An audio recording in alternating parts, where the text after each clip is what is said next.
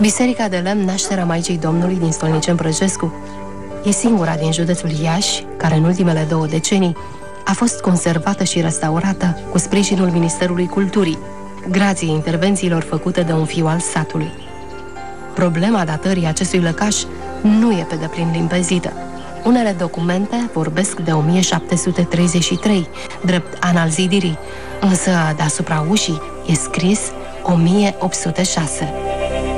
Este făcut de un Ion Prăjescu, din marea familie băierească Prăjescu, Însă, la fel, este datată de istorici de artă cândva la sfârșitul secolul XVIII, cu toate că ea are o pisanie, are o însemnare unde spune că Ion Prăjescu a construit această biserică la 1806.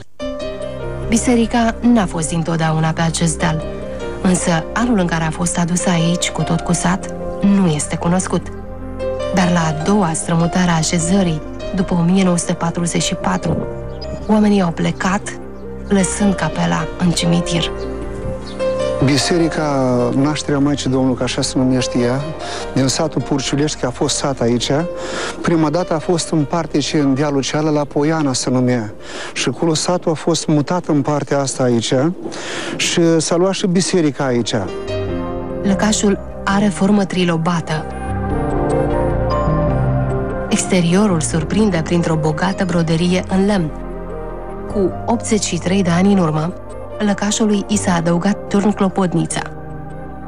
Dar la restaurarea din 1997, anexa a fost eliminată.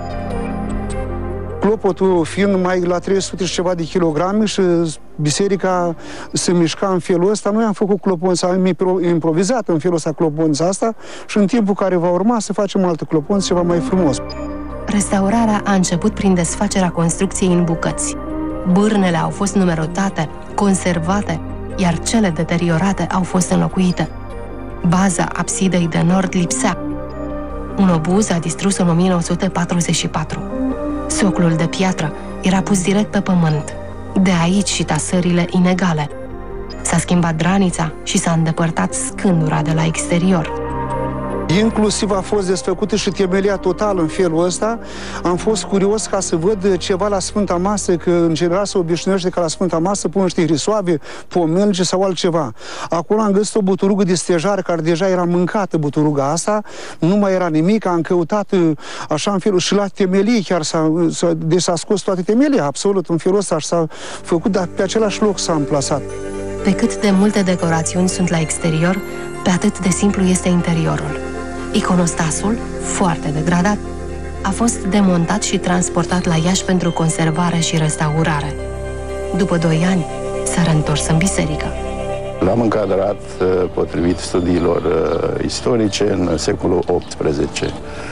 El este un, uh, o valoare unică și prin influențele în stilul uh, inițial uh, în care a fost executat, influențe venite din uh, spre școala rusă. În cromatica uh, acestui iconostas se descoperă foarte multe asemănări cu uh, cromatica bisericilor chiar de lemn din uh, partea Ucrainei. Cea mai grea boală era desprinderea picturii de pe suportul lemnos și s-au făcut uh, prima dată in situ, acolo pe loc, primele consolidări, ca să nu se piardă nimic din uh, acest stat pictural care de fapt definește întreaga uh, frumusețe și unitatea iconostasului.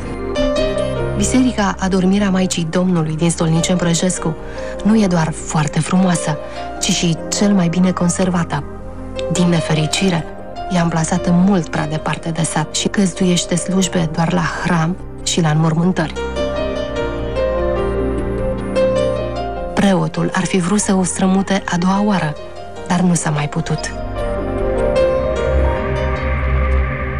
Eu aș fi vrut în felul ăsta ca să o duc în sat uh, biserica, am făcut niște uh, intervenții pe departe.